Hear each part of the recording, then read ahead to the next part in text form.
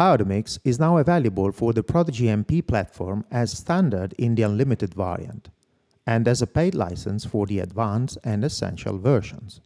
Automix can be tested in demo mode on any Prodigy MP for 30 minutes, as with all paid licenses. Demo mode can be activated from Settings License. Automix is automatically setting the gain values of several flex channels belonging to an Automix group. Starting from DSP flex channels, with a double click on the A button of a flex channel, it is possible to assign it to one of the 16 available Automix groups. Once assigned, the button color changes to orange and shows A followed by the group member. Let's repeat that for several channels assigning them to different Automix groups. A flex channel can be assigned to any Automix group in any order, so select them freely according to your requirements or preferences. Gain decisions are taken for each Automix group separately, meaning the input levels of flex channels belonging to a specific Automix group will not affect members outside of that group. Let's make an example. For a Champions League football match commentary, we need to provide four independent mixes English, Spanish, Italian, and German. And each mix includes two microphones one for the main commentator and the second for the pundit or analyst at his side. From DSP settings Automix, we name the first four groups English, Spanish, Italian, and German. From Flex channels, we assign Flex 1 and 2 to A1 English, Flex 3 and 4 to A2 Spanish, Flex 5 and 6 to A3 Italian, Flex 7 and 8 to A4 German. We can now click on Automix and check how each group behaves.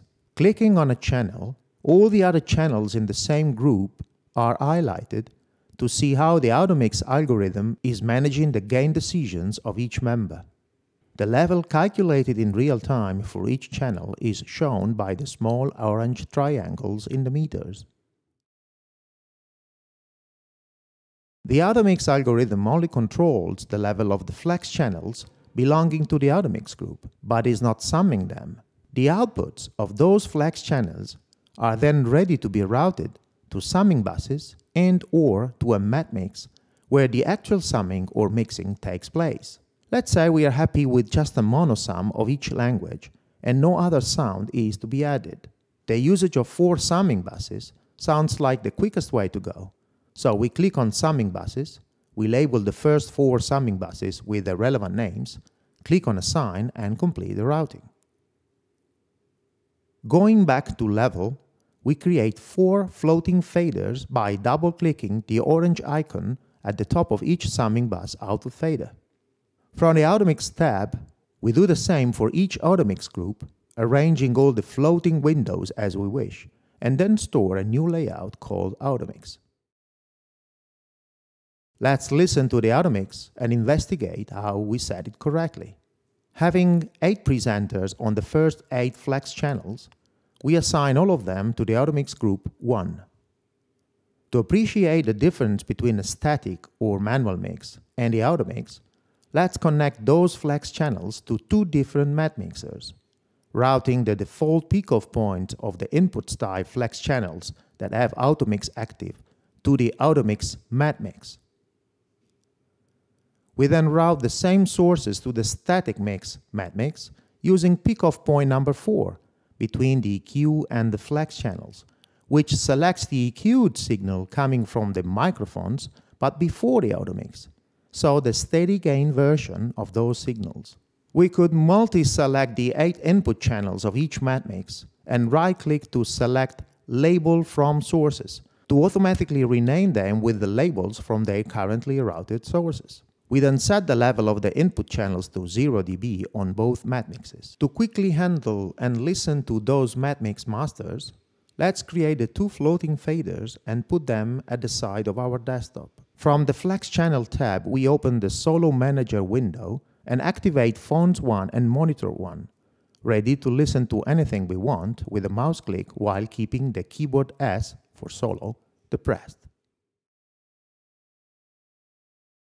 In most situations, each presenter should hear a mix of the presenters in their headphones or earpieces.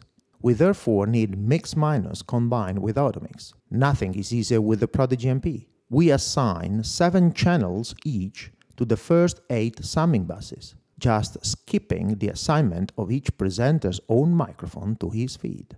Let's start with all the automix settings to default values and compare the static mix with the automix version. 5, 7, 6, 3, 8, 2, 3, 8, 2, 7, 7, 5, 5, 8, 3, 8, 1, 3, 3, 4, 3, 5, 6, 2, 4, 5, 6, 7, 7, 7, 4, 7, 1, 8, 8, 3, 6, 4, 8, 3, 3, 1, 3, 1, 5, 4, 2, 2, 5, 4, 4, 5, 1, 5. The automix effect is clearly audible, with a much lower overall noise floor and a much cleaner and more intelligible mix. But something even better can be done. When the presenter is not talking, his microphone is contributing to the mix with only its self noise and any background noise it is picking up. And that's true for all the microphones. Let's listen to all the microphones when none of the presenter is talking, starting from the static mix.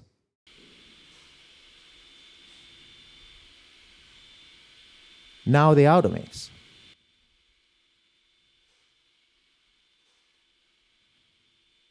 It's clear the auto mix effect where all the input signals are more or less at the same level and therefore the auto mix algorithm is lowering each input by 12 dB thus reducing the overall noise floor of the mix. If we now increase the Hush Wizard setting, we can hear and see the gain calculations reducing the levels of the inputs contributing just noise, thus greatly improving the overall auto mix.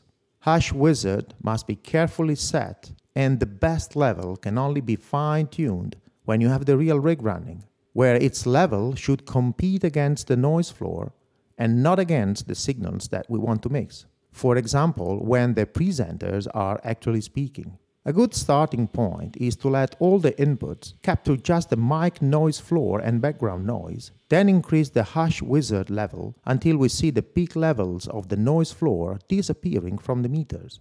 At that point, the noise level is barely audible. Let's listen to the difference from the static mix,